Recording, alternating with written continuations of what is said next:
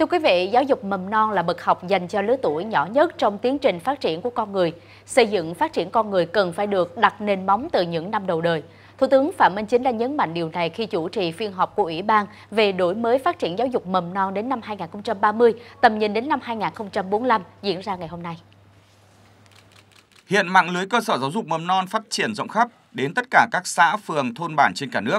Hàng năm có trên 5,3 triệu trẻ mầm non với hơn 15.000 trường mầm non và gần 16.000 cơ sở độc lập. Toàn quốc có 56,9% trường mầm non đạt chuẩn quốc gia. Việc thực hiện thành công mục tiêu phổ cập giáo dục mầm non cho trẻ mẫu giáo 5 tuổi đã tạo cơ chế động lực thúc đẩy giáo dục mầm non phát triển. Tuy nhiên, vẫn xảy ra tình trạng thiếu trường lớp, thiếu giáo viên, thiếu trang bị dạy học. Giáo dục mầm non cần được đổi mới để đáp ứng yêu cầu.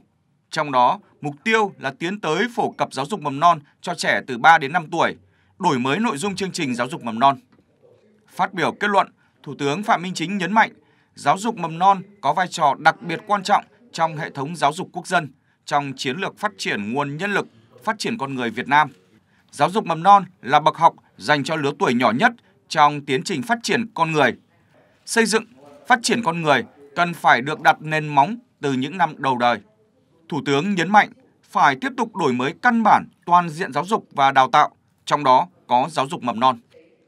Anh đổi mới gì thì đổi mới, nhưng mà phù hợp với xu thế, phù hợp với thực tiễn hoàn cảnh của đất nước chúng ta trong cái bối cảnh hiện nay.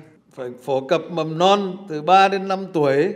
Đây là cái mới. Trước đây là chỉ có 5 tuổi thôi nhưng bây giờ từ 3 đến 5 tuổi. Đổi mới cách huy động nguồn lực thông qua cái hợp tác công tư. Để xử lý, giải quyết ba điểm nghẽn, hạn chế của giáo dục mầm non về nhân lực, về cơ sở vật chất, tiếp cận chưa bình đẳng về giáo dục mầm non, nhất là ở vùng sâu, vùng xa, biên giới, hải đảo. Thủ tướng Phạm Minh Chính yêu cầu ra soát, có cơ chế chính sách để huy động mọi nguồn lực cho giáo dục mầm non. Các bộ ngành địa phương phối hợp với Bộ Giáo dục và Đào tạo để hoàn thiện các văn bản.